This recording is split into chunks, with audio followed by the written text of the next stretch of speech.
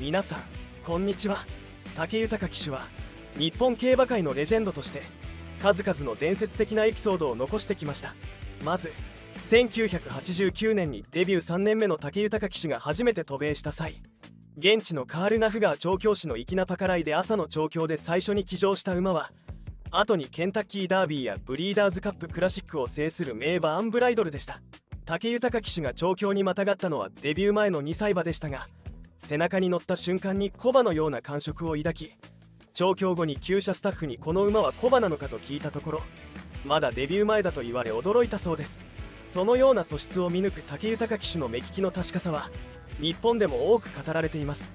1997年武豊騎手が出会ったのが名馬スペシャルウィークでした。デビュー戦を控えた1週前の追い切りで武豊騎手はいつになく興奮気味にどこまでも止まらない感じがすると報道陣に語り一部の記者には来年のダービーをこの馬で取ると豪語していたと言われています。そして日本ダービーでは見事に優勝を果たしました。興奮のあまり最後の直線でムチを落としておりレース後に「あれムチはどうしたの?」と問われた武豊騎手がその辺に忘れましたと答えた逸話も残っています。ディープインパクトにも武豊騎手はただならぬ素質をすぐに感じ取りました。新馬戦4日前の調教で初めてまたがった際合わせた馬に1.6秒も先着する豪快な内容となり調教を終えて戻ってきた武豊騎手は池江調教師にこの馬ちょっとヤバいかもと語彙力を失うほどの衝撃を感じたそうです。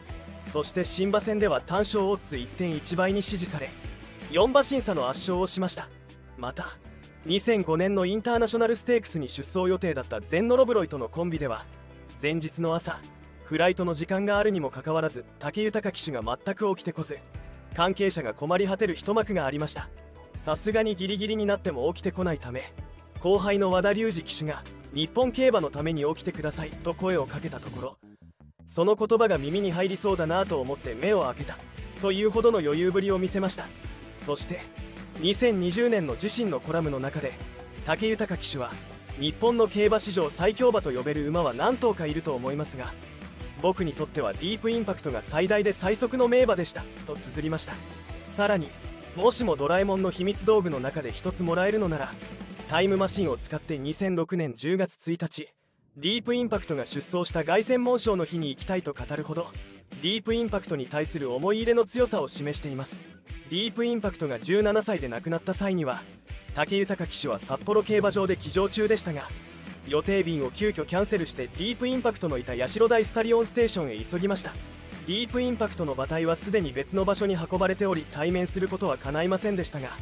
空っぽになった馬房に向かって手を合わせたといいます。多忙な武豊騎手が火曜日まで北海道の地に残っていたのも何かの縁かもしれません。武豊騎手は数多くの名馬とコンビを組んできましたが今まで乗った馬で一番強い馬はという質問に対しては競馬関係者や馬主への配慮から直接的な答えを避けてきました。しかしディープインパクトに関しては特別な存在であることは間違いありません。このように武豊騎手の伝説的なエピソードは数多くありますがその多くは馬に対する深い愛情と尊敬。そして常人離れした馬の見極め力と騎乗技術に裏打ちされたものです。武豊騎手は日本競馬界のレジェンドとして今もなお多くのファンを魅了し続けています。そんな武豊騎手の活躍の裏には馬主との深い人間関係が存在しています。武豊騎手は1987年にデビューし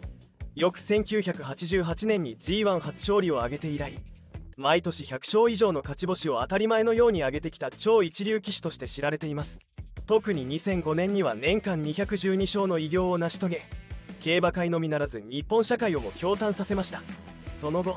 成績は下降線をたどり2012年には史上ワーストの56勝と低迷したものの近年は復活ぶりを見せ2019年と2020年には100勝以上をマークしています。賞金の高さにつられて続々と来日する外国人騎手の存在を恐れることなく超大物人気ジョッキーは再び全盛期のような活躍を見せようとしているのです。そんな武豊騎手の活躍の裏には馬主との深い人間関係が存在しています。実際に馬が走ってくれないと勝ち星は巡ってきませんし馬に乗せてくれる馬主がいなければ乗馬する馬も確保できません。そこには武豊騎手が築いてきた馬主との人間関係がものを言っているのではないかと考えられます。2019年と2020年の勝利数を馬主別に見ていくとその関係性が浮き彫りになります。2019年の馬主別勝利数で最も多かったのは松島正昭氏が代表を務めるキーファーズの11勝でした。キーファーズは2015年に馬主登録して以来武豊騎手に騎乗依頼して勝利を重ねるというパターンが多く見られます。これは代表の松島氏が京都経済界の有力者であり京都在住の武豊騎手とは馬主になる前から関係を築いていたことが背景にあります。松島氏が馬券で負け続け大金をドブに捨てた話を聞いた武豊騎手がそのお金で馬が買えるという話をしたことから馬主登録につながったという有名な話もあります。次に多かったのは大川徹氏の8勝でした。大川氏も馬主になってからというもの。武豊騎手への所有馬の騎乗依頼が多いことで知られており武豊騎手を支える個人馬主の一人と言われています。特に自身の代表的な所有馬であるスマートファルコンでは武豊騎手を起用して G1 級レースを6つ制覇するなど武豊騎手の活躍をアシストしてきました。武豊騎手が不振だった2012年以降も大川氏はこうして武豊騎手を支え続けたことで知られています。3番目は松本義雄氏をはじめとする金子正人ホールディングス軍団の7勝でした。代表者の松本氏は馬主組織の中心である日本馬主協会連合会の会長も経験した有力者で馬主の世界では大物として知られています。武豊騎手とは父親の国彦元調教師の頃からの付き合いで武豊騎手や弟の高田康成調教師も幼い頃からお年玉をもらった経験があるほどの関係です。2006年の東京優春。日本ダービーや翌年の天皇賞秋を制した名馬メイショウサムソンが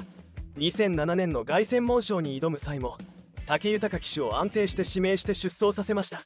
これは世界最高峰のレースに臨むにあたって最高のジョッキーを騎乗させたいという松本氏の強い思いが優先された形となりました。2020年の馬主別勝利数でもキーファーズグループの12勝が第1位でした。